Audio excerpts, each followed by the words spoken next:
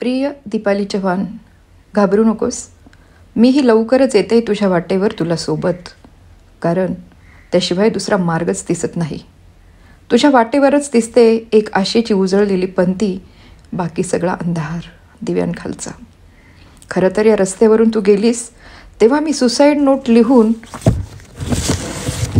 रडत कुढत जगणाऱ्या साऱ्या मैत्रिणींना हक्कानं खडसावलं होतं की म्हणा फुलराणी बना तुला शिकविल चांगला धडा असं पालुपद गा. मीही तेच पालुपद गात होते. पण लक्षात आले त्याचे परिणाम. किती जणांना धडा शिकवायचा? या चिमुकल्या पंखात आता तेवढं त्राण राहिलं नाही. तत्वांना मुरड घालून जगता येत नाही आणि जी हुजूर म्हणून तळवेत चाटता येत नाही. लोकप्रतिनिधींच्या तालावर नाचता येत नाही आणि त्यानं थुंकलेलं मला चाटता येत नाही. किरड्यावर उगवाव्यात तशा त्यांच्या कार्यकर्त्यांच्या दिंडी मला रोखता येत नाहीत आणि वरिष्ठांना सांगूनही त्यांना खिंडीत रोखता येत नाही. त्यांनी तर खिंडीत सहाय्य पोहोचवण्याऐवजी मारेकरी पोहोचवण्याचं काम केलं. ठीक आहे लोकप्रतिनिधी आणि आपण एक रथ दोन चाकं. पण आपल्या चाकानं जरा गती घेतली की आपला घात निश्चित समजावा. कारण मागे राहणं हेच म्हणून शिकवलं. सगळे मनुचे अनुयायी. मग एकटीनं वाट कशी चालणार पुढे पुढे? दीडशहानी आगाऊ भ्रष्ट अशा विशेषणांच्या मखरात आपल्याला कोंबणार नाक दाबून ठेवणार.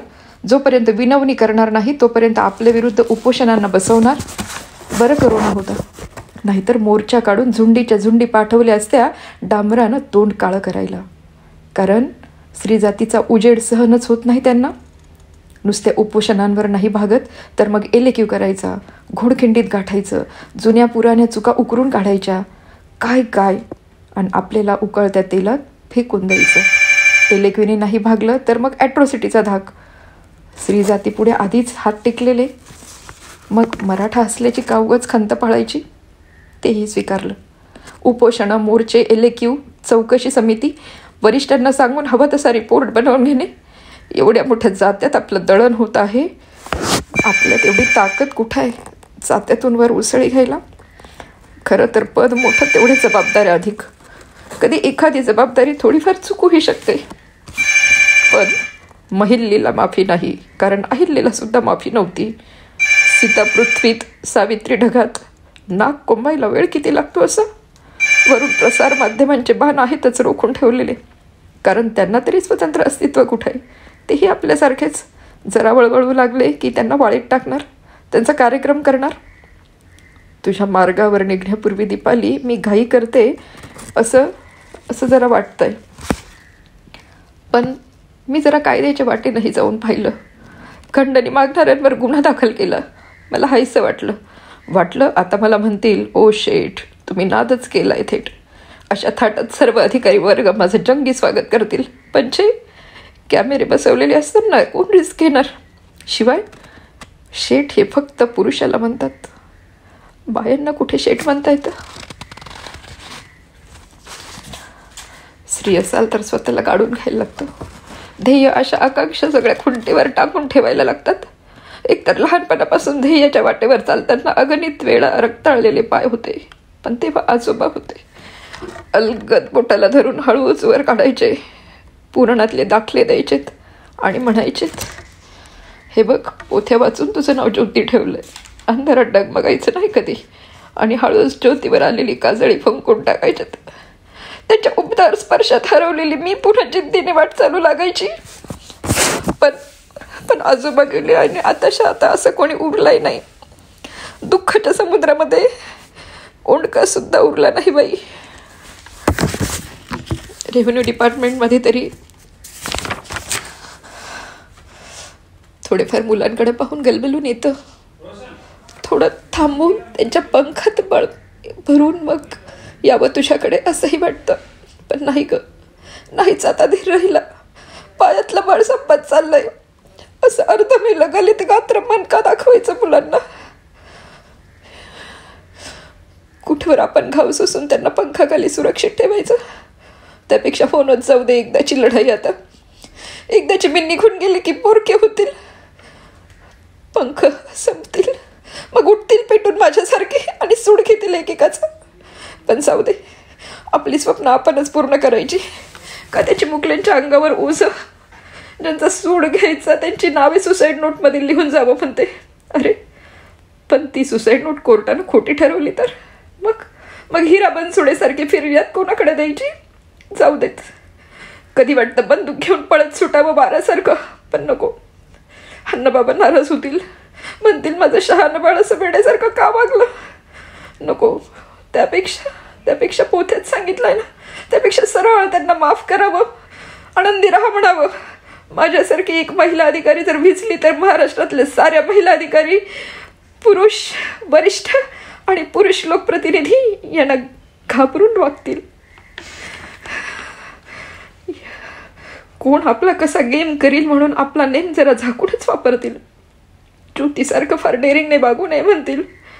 त्यापेक्षा ताटाखालचं मांजरं होऊन राहावं किंवा गुम्मुकाट साईड पोस्ट करावी. उगाच कार्यकारी पदाची रेव्हेन्यू डिपार्टमेंटमध्ये तरी हाऊस करू नये असं कुठेतरी लिहून ठेवतील. काही जणी तर जरा नोकरी सोडणं पसंत करतील. कारण चक्राकारच्या नादात माझ्या अनेक सख्या दूर उडून गेल्या आहेत मैलोन मैल. खरं तर आज मला अशाच एका सखीची आठवण होते. ती जवळ असती तर मनातलं बोलत राहायचो सतत. मग सगळं काही सहन करण्याची ताकद पण यायची अंगात. खरंच आज ती जवळ असती तर पेन हिसकावून माझ्या कानफटात लगावले असते तिनं आणि गळ्यात पडून बसली असती. माझा गळा तिच्या प्रेमानेच तिनं दाबून टाकला असता अगदी. पण नाही नियतीला आता वेगळेच काही मान्य नाही. मला आता समोर दिसतात ते लोकप्रतिनिधी. मी दुकानदारांना कोविड व्हॅक्सिन का करून घेतलं म्हणून रात्री जाऊन तालुकाच्या त्या मेडिकल ऑफिसर मॅडमला उंद्रे मॅडमला त्यांनी विचारलं खोदून खोदून तहसीलदार मोठा की लोकप्रतिनिधी. ती बिचारी माझ्यासारखी असहाय्य. ढळाढळा रडू लागली. आणि समोर पोलीस विभागाला सांगितलं जातं हिच्या आईची हिला लेडीज पोलीस बोलवा मारायला. हं? तिच्यासोबतच्या दुसऱ्या बाईला पण मारा. हं? तिच्यावर हातसफाई करता आली नाही. मग हात साफ करून घेतला. तो लाथाबुक्क्याने बदलून काढलं. ते तिच्या पाटील नावाच्या लिपिकाला.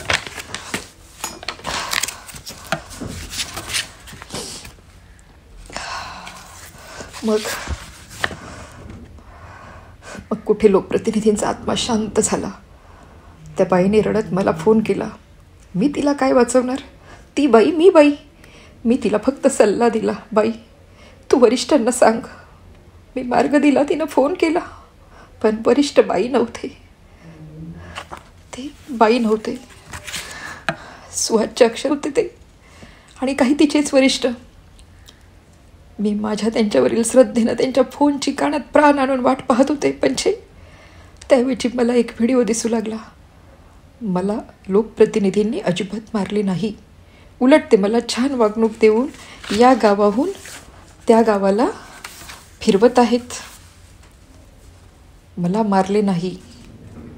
हाच तो व्हिडिओ.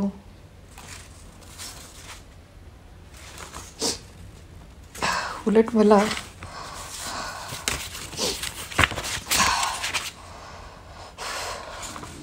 तसा हा व्हिडिओ मला मारले नाही. हा व्हिडिओ तीच भिंत तीच जागा कोंडून व्हिडिओ घेण्याची. भिंतीसारखा जरा रंग उजळलेला होता इतकंच. असाच एक फक्त पोलिसांनी नेहमीप्रमाणे पाहिलेला व्हिडिओ मला आठवला.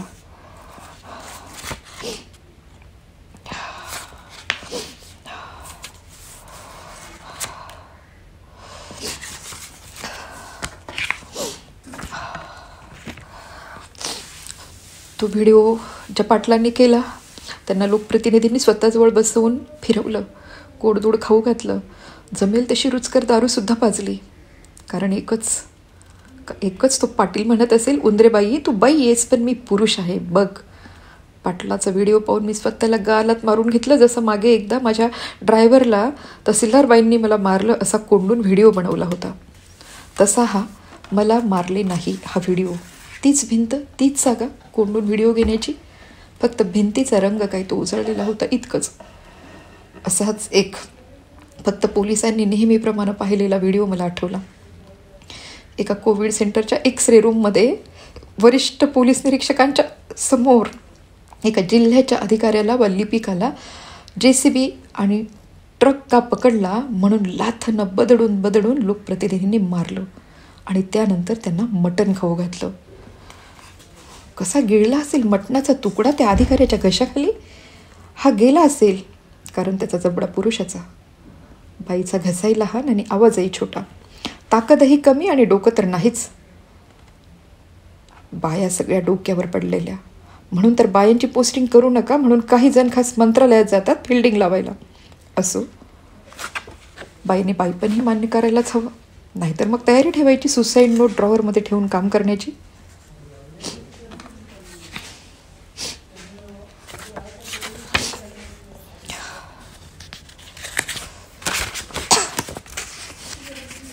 जरा जास्तच नकारात्मक झाली का मी? स्त्रियांच्या कर्तृत्वाला डोक्यावर घेऊन नाचणाऱ्यांचे धन्यवाद पण मानायला हवेतच. पण ते फार थोडे आहेत हे नक्की. पण असो त्यांचेही आभार मनापासून मानते मी. ठीक आहे खूपच लांबली सुसाईड नोट. ठरवून कुणाचं नाव नाही घेऊ शकले मी. कारण पुरुष असले तरी स्त्रियांचे नवरे भाऊ सासरे दीर आहेतच की ते सगळे. ते सगळे आत गेले तर माझ्या अनेक सख्यांचे संसार उद्ध्वस्त होतील. त्यापेक्षा नकोच आहे पाप. ज्यांनी त्रास दिला ते मात्र मनातून समजून जातील. हो पण अजिबात दाखवणार नाहीत ते. कारण कारण ते पुरुष आहेत. स्त्रियांसारखं भळाभळा गळा काढता येत नाही त्यांना. त्यांना फक्त हळूच चिरता येतो गळा. जय हिंद. काळजी घ्या सगळी.